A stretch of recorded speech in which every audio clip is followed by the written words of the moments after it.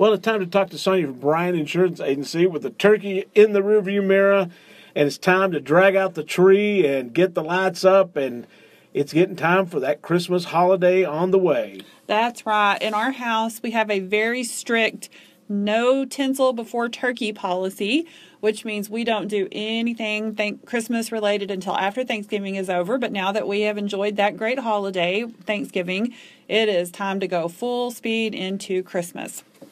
Now, when Christmas comes around, that means a lot of extra activities, a lot of extra things going on, and uh, you want to make sure that you're covered just in case. That's right, because you know, with Christmas, it gives us more occasion to shop, to have meals with our family and friends, and to go to parties. But unfortunately, for some people, it's also an added opportunity for them to steal things like gifts, cars, identity, even Christmas decorations. So I thought while we're at the first of this holiday season that we should talk about some things to maybe do to keep you safe from those type of things that can happen and can very quickly turn a very happy occasion into a very unhappy occasion.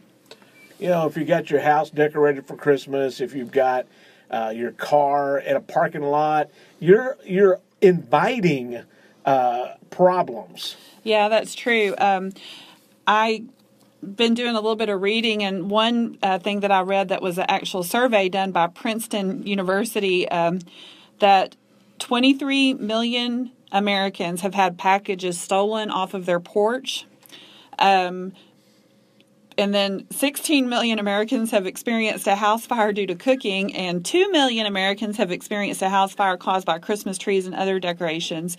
So, that's a lot of people and that's a, on an annual basis is what is estimated and that's sure sure would hate to see that happen to anybody and there really are some simple steps that you can take to hopefully protect yourself against things like that yeah there's things that you precautions you should take uh, you know and a lot of times when it comes to different things like this it's just using a lot of common sense. That's right. Um, talking about we'll start off by talking about packages that are delivered.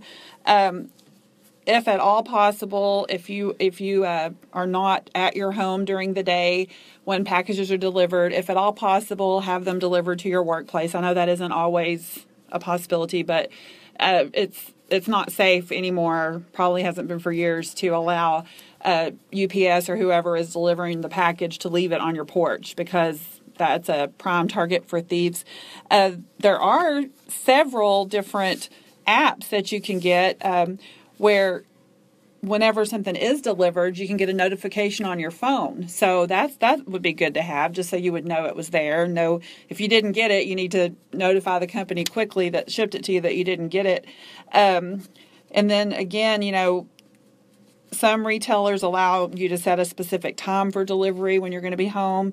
Uh, you can even have like a surveillance system, that kind of thing. So there's all kinds of things that you can do, but but just don't think that it's going to be okay to have those packages delivered to your porch and when you get off work and go home that they're going to still be there because there's a really good chance they're not. So take those precautions ahead of time and that way you can get those packages. Also about having your home prepared for the uh, for the holidays coming in because you know putting up lights, putting up lights in the tree, putting up trees in the house, getting it too close to heaters. I mean, different things like that. You're opening yourself up for a lot of problems. Yeah, there's some things you can do to avoid fires.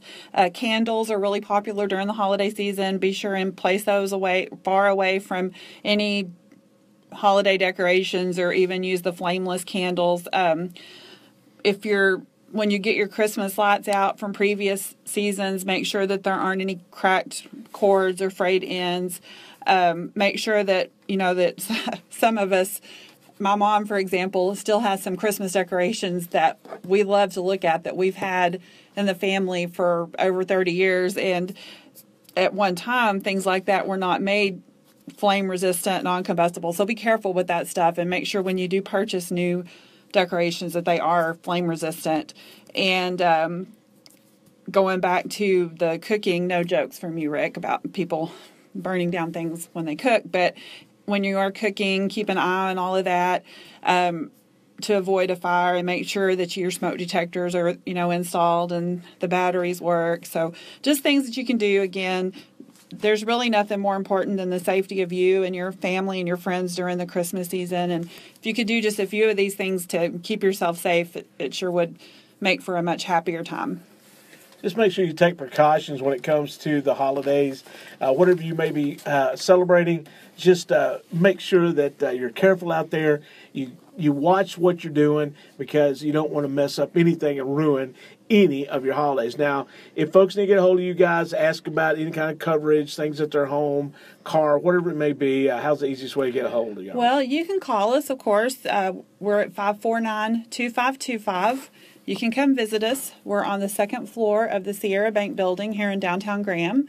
Or you can visit us on the web, www.brian.com.